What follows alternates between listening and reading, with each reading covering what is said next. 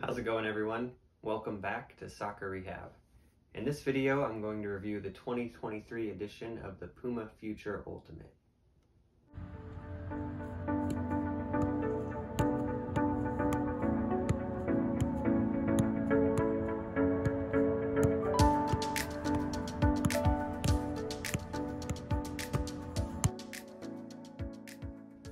2023 edition of the Puma Future Ultimate features a Fusion Fit upper with power tape to provide support and lockdown with quick changes of direction. Puma has changed the stud pattern from the previous generation Future 1.4s, and although Puma markets these as FG-AG, the studs are more aggressive and better suited to FG pitches. More on that later. The newly designed Fusion Fit 360 upper provides just the right amount of stretch and compression for flexibility and maximum comfort. The upper feels really good, not too thin, not too thick, just about right in my opinion. The collar is also different in this model. It feels a little bit thicker and higher than the previous generations. Here is the 1.3. It's a little bit thinner and does not have as much compression. This gives it really good lockdown, much better than the 2023 versions of the King and the Ultra. Puma has also introduced power tape on this model, which does a good job holding the shape through the midfoot. The toes will stretch out a little bit in my experience, which makes for a really comfortable fit. Now, for the texture, the texture on these is really nice. I like a lot of texture on my cleats, but I don't like it when they're sticky, and Puma has nailed it with these. It feels almost rough on the surface, kind of like a really light sandpaper. A lot of cleats are too grippy for me when it's dry or too slippery when it's wet, but these have just the right amount of grip for both conditions. All right, let's take a look on feet.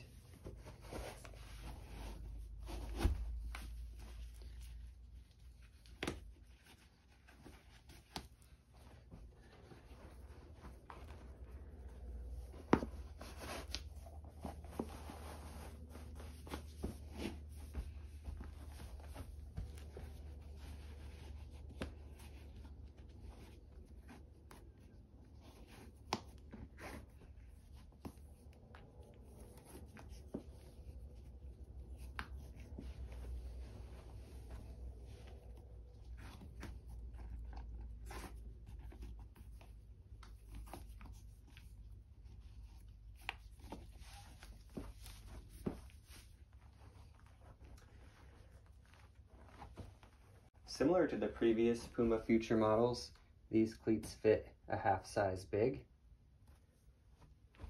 I typically wear eight and a half and size down to eight for this model, which was just right.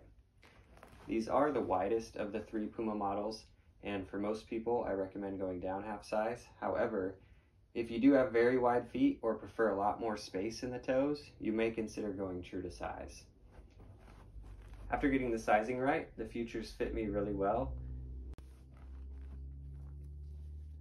The mid-cut collar is nice and snug. It provides really good lockdown, something which is lacking in both the King and the Ultra models.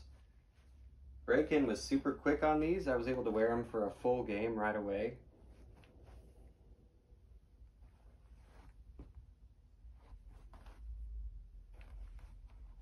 And like I mentioned earlier, these are the widest of the three Puma models.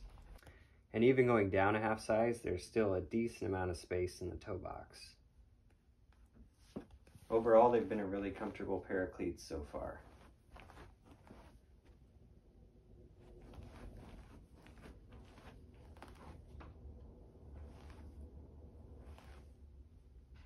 All right, now let's check out the weight. So these weigh in at 214 grams.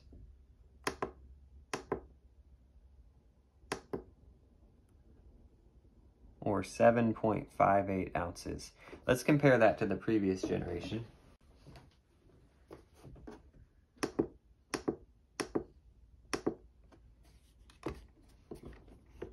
Okay, so the future 1.3s are 210 grams, just a little bit lighter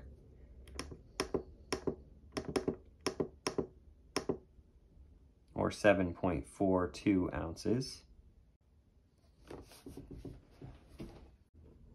And the Ultras,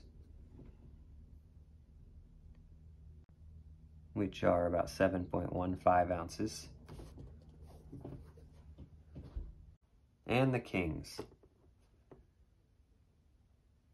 which are 6.93 ounces. So they are a little bit heavier than both the Kings and the Ultras, but not by much, and the weight feels just fine in my opinion when I'm playing in them. They do also have a different insole than most of the Ultimate Puma cleats. Most of them have the gray nano grip, which is kind of rough. These are a little bit more suede-like, a little bit softer, and maybe ever so slightly thicker. The stud pattern has changed from the semicircular studs of the Puma Future 1.3 and 1.4 to a bladed stud pattern. Puma markets these as FGAG, but I would stick to natural grass as the blades are a bit more aggressive than previous generations. I have also heard some complaints of poor durability on artificial grass, so that's also something to keep in mind. Now that being said, I've been really liking this stud pattern on both firm and soft ground and have no complaints about slipping or stud pressure.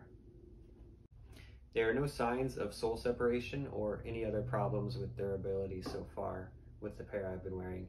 As I mentioned earlier, I've heard some complaints about poor durability on artificial turf, but we'll see if that's the case or not with natural grass. I'll give an update in a few months if I notice any changes. All right, so some of the pros for the Puma Future Ultimates. They have a really soft, comfortable upper. The texture provides a really good grip without being sticky. The collar is really snug and provides a good lockdown, and the stud pattern is very good for both firm and even soft ground pitches. So for the cons, which there aren't a whole lot of, the sizing. These do fit a half size big. This is something I really wish Puma would fix. These size 8s are exactly the same length as my size 8.5s in the other models. But if you just go down a half size, they fit just right. The other con is even though they market these as FGAG, the studs are not appropriate for artificial surfaces. Other than that, I have really enjoyed wearing these cleats and they're probably going to be my main pair on natural grass at least. If you're looking for a good all-around boot for firm and soft grass, I would definitely give these a try. Just remember to go down a half size. All right, that's it for this video. Thanks for watching and we'll see you next time.